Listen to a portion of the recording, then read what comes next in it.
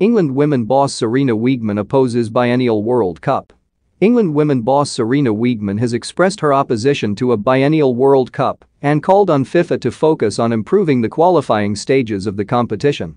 The organization have invited the FA and other governing bodies to a summit a week on Thursday to discuss the international calendar and Arsene Wenger's proposal for a World Cup every two years in both the men's and women's games. But Wiegman is against the idea and insisted players and managers should be included in the consultation process.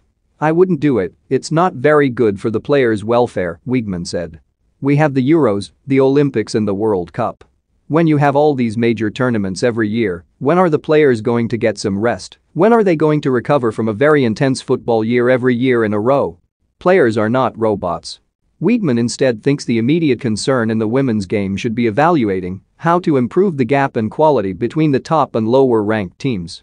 The Lionesses face Luxembourg in their second World Cup qualifier on Tuesday after beating North Macedonia 8-0 on Friday.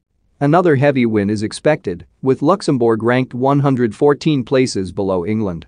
What you want to do is develop women's football worldwide, but the difference between qualities now is huge. It's not very competitive when you win 8-0.